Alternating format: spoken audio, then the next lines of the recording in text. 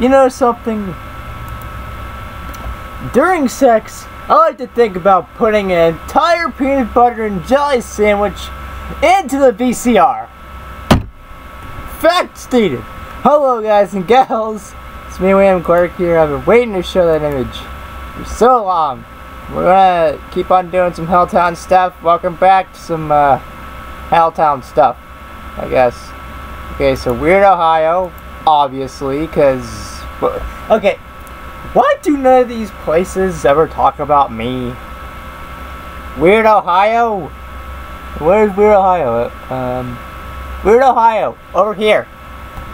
Why don't they talk about me? I am the weirdest thing in Ohio. I'm the weirdest thing ever invented. I'm weirder than French toast on eggs.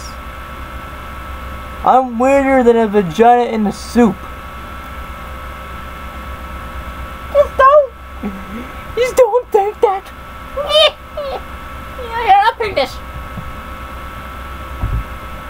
Alright. Uh-huh, so we'll do three more. Uh, actually, depending on how big they are, I'm gonna show you. Let's put two more parts to this shit. So now you guys and gals will know about Helltown, Ohio. Ah, there's the ever so popular Crybaby Bridge. I remember that one. Alright, weird US. Alright. Your travel guide to America's local legends and best kept secrets. What is Weird US? Your tour guides. Disclaimer. Oh, ho, yeah. Welcome to Helltown. Thank you. Even though I yet to go to Helltown. I want to go there. Man, I don't have any money, so I can't drive. Oh my. Mutant towns and tame towns. Ooh. Nice mutant town. So you have mutants. Good to know. Now I know I really want to go there. Call me crazy, but here's my number. So call me maybe. Yeah. I don't know. Ah, I forgot the lyrics yeah, fuck it. hey, I just met you. And it's crazy. But here's my number. So call me maybe. It's hard to look right at you, baby. But here's my number. Lick Fluttershy. Whatever. Oh my. Ah! Helltown goes on forever. Oh my god.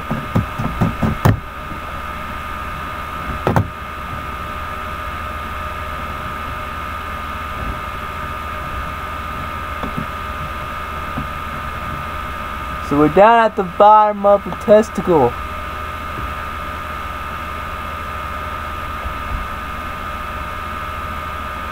Oh my.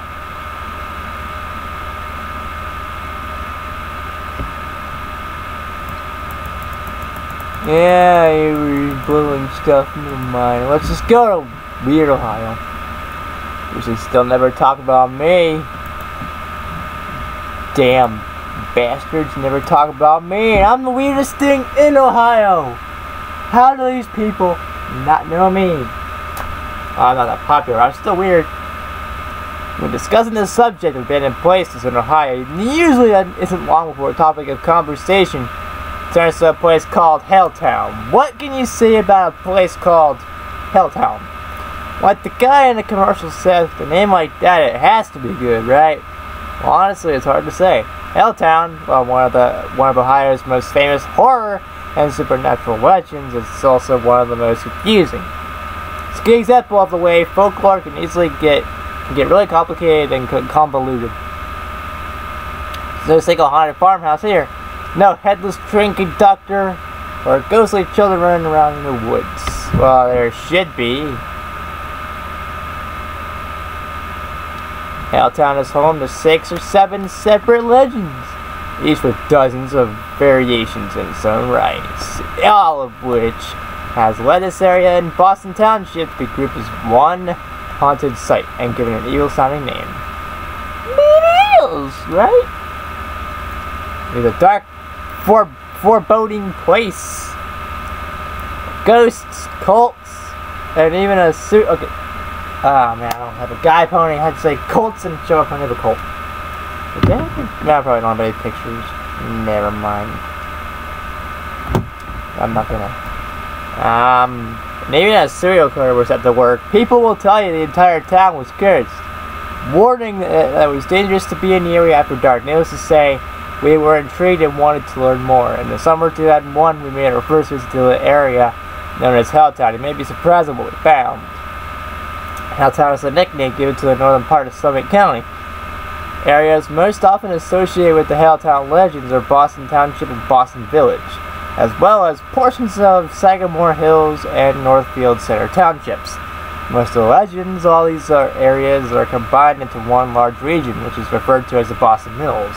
Alright, so all of this area is one area. Not two, not three, not over 9,000. One.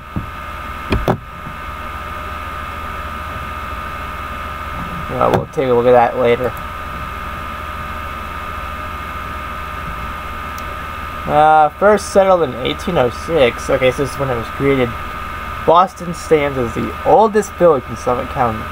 First mill was built in the village in the early 1820s. Several years later, the construction of the Ohio and Erie Canal brought more people to Boston, and over the next few decades, mills began to flourish in the area. Most notably, a paper mill. A railroad station was constructed in the town in the early 1880s. Station was named Boston Mills, in reference to the paper mill and the, and the name has stuck. Over the years, Little Chase, small town, however, in, in the late 1960s, the nationwide movement began, began that expressed concern over the destruction of our forests. In 1974, in an effort to save the forest, President Gerald, Gerald Ford signed legislation that enabled National Park Services to purchase land and use it to create National Park. As a result, on December 27, 1974, hundreds of acres, including land within the township, Boston, were officially designed or designated National Recreation Area. What many people did not realize until it was too late was that the legislation had a darker aspect to it. It gave the federal government jurisdiction jurisdiction to buy houses and land right out from under the current owners in order to clear the way for the national park almost immediately after the bill was passed. Oh god, blurry eyes again. Ah, hate it when this shit happens. Uh, the government began acquiring houses through Boston Township and the surrounding area. Once the government had decided to buy a property, there was no negotiation involved. The owners were forced to relocate. Well, that's gotta suck after Christmas. Two days after Christmas settle down, play with your toys, you know, whatever. Whatever it may be. And then two days later you have to relocate. What if you had no cars? I mean, not everyone had a car back then. So, basically, you were forced to relocate and probably walk wherever. Being one of those deranged tigers you hear about on here. In what can only be described as a mass evacuation, residents began leaving in droves, and entire townships began to be swallowed up by the Cuyahoga Valley National Park. These events were so tragic that they are now they were featured in 1983 PBS documentary, Good of All. Perhaps the general feelings of the displaced homeowners were best summed up in a statement found scrawled across the wall of a, of a vacated home. Now we know how the Indians felt. Exactly. Being forced to relocate sucks. I mean, if they took this house, I'm gonna kill someone. Uh, I know where to live. Probably either Dayton or go to Alberton, Georgia and live with Erica, but one of those two, I'm living with Erica. Yeah, I could live with my Uncle James, which is in Dayton, Ohio, but eh, I prefer to live to my girlfriend. Because she's my girlfriend. Yeah. My girlfriend. Yes, you. Erica. Erica Fortson. It, you. Yeah, yeah, you. Yeah, I'm talking to you. Oh, good lord, yes. Yes. I said I want to move in with you. I, I want you to move in with me. I want to be with you. Yes. Yes. We know. We No, I'm not a potato. Oh, good lord. But anyways. Once a house was bought by the government the owners left, it was boarded up and covered with U.S.-issued no trespassing signs. Then it would sit vacant until the government could arrange for it to be torn down. In some cases, houses were intentionally burned to serve as training exercises for local fire departments. Oh my. Well, that's gotta suck. Not only would you be able to lose your house, but you'll have to be burned down too bastards! Our government fucking sucks. That's what. I'm not kidding. Hundreds of homes being purchased in such a short period of time. The government quickly fell behind. It was not uncommon to drive down a street and find several boarded up houses sitting next to the burned down and remains of ones. With trespassing, the motorists unaware of the events taking place in the area. It usually seemed as if the entire town had disappeared into thin air. Yeah, I know I'm talking fast. Mutant Town, Legend of Helltown. Uh, Mutant Town and Mutane Town are two alternate names for the Helltown area. Research on the story that led us to conclude that the area was first called Mutant Town. Well, what if you were a fucking mutant? What if you were a zombie in the area? Okay, going back to what I talked about, I believe it was the first part, the first part, one of those, either first, second, I mentioned something about zombies in the area. In House of Dead Overkill, people call zombies mutants. So basically, zombies are mutants. So that only backs up the theory that there's zombies in Helltown. When the federal government bought up the land in 1974 to create the Cuyahoga Valley National Recreation Area, they boarded up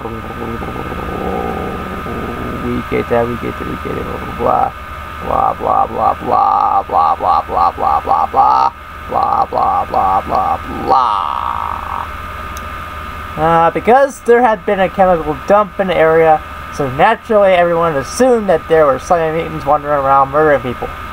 Fucking zombies, you idiots! There's zombies in the area. Now I definitely want to go to Helltown. If there's zombies in the area, I'm going. I'm going. I'm gone. I'm going. Mutane Town seems to be a simple misspelling of Mutant Town. Although some people will assure you that there had been a butane plant in the area, which somehow led to this name. Unfortunately, that's not true. Neither is it true that there was a chemical spill in Boston Township. Shit. The only chance for a zombie apocalypse and they lie. Fuck! The Satanic Church, I already told you about this one, but let's talk more about it. This one goes along with allegations of Satan worshiping made within the entire town. We've been told that all the people in the area worship the devil and that there are animal mutilations and satanic symbols all over the place. And I mean all over. Women have there's this Satan thing, the satanic ritual symbol on their chest, and kids have it on their forehead. Men, they have it on their genitals, so their penis worships the devil. Oh shit! I repeat, the penis worships the devil. Yeah! Alright, that's enough allegations of that shit. So let's go. Let's go. All of which leads to the church, which is called the Mother of Sorrows in the real world. Supposedly, black masses are conducted here. And there are supposed supposed to be an upside down crosses all over the building. Turns out, the upside down cross shape is just a feature of Gothic revival architecture. Nice. You have to think they could have been a little more careful when they were building the place. Yeah. Cemetery. I told you about this a bit. Uh, there are lots of ghost stories that emanate from this scary cemetery, which is said to be terrifying, and the home of a ghost who sits on a bench and stares out into space. From what I hear, though, there's no bench, and the cemetery is pretty ordinary. Lately, Boston locals have been installed floodlights and patrol the graveyard regularly. So if you're planning to visit at night, be careful. Yeah. School bus. Isn't this the one with the house and the hearse? Yeah. Apparently they're all um yeah. Hmm. Weird. Ah well, the story has some creepy elements, blah blah blah, haunted school bus with all seats removed. Said to sit at the edge of the woods in Helltown. Legend has it that the kids it was hauling on its last trip were killed by a crazy killer, a bunch of crazy killers. They say sometimes you can see either the kids or their killer killers inside. If it's a single killer, he sits in the back smoking a cigarette. Okay. Maybe it's a ghost. I hope.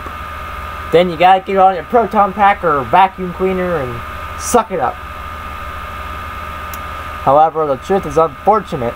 Unfortunately, much more mundane. A guy who was repairing his home lived in the old bus. His family until they could move to the house. The bus has since been towed away. Okay. We'll just go with that. The end of the world. Yes, it is the end of the world, and I don't feel fine. yeah, Max Payne reference there. There's a steep, uh, winding road with sudden stop, blah, blah, blah, blah, blah. Uh, all this is just talking about stuff we've already heard. Except the slaughterhouse. Uh, the slaughterhouse, slaughterhouse not far from the cemetery, or so it said. Researchers report that it's just part of an old barn. Over time, it acquired a reputation as a haunted slaughterhouse where you would see faces if you looked through the windows at night. Holy vagina acorns! If that's the case, definitely. I mean, who wouldn't go to Helltown now? I mean, Helltown, Ohio is like sticking your penis inside of a mushroom while being haunted by capitalist burgers. I mean, it's awesome. I want to go there. Only problem, I don't know where it's at, and I don't have any goddamn money. And if I had money, I would go and I would know where it's at. Because there's GPSs. And GPSs, I don't know. They're, they're just GPSs. And that, and that dog, and that dog's being a goat. She's a goddamn cow. She is a cow. She is a vagina on speed. So, whatever.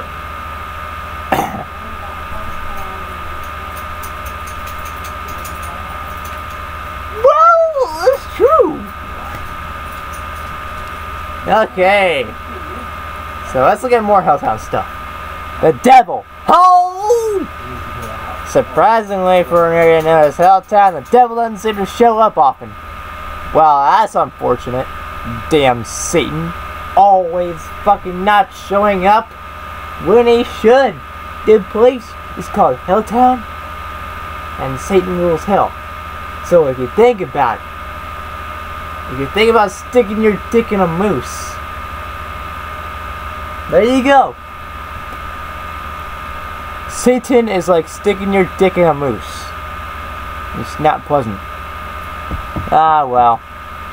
Black masses, and mutilated farm animals, and good Jesus. You need spiritual guidance. Traveling to the end of the world to see Helltown. Oh my. This guy talks about talks about shit. And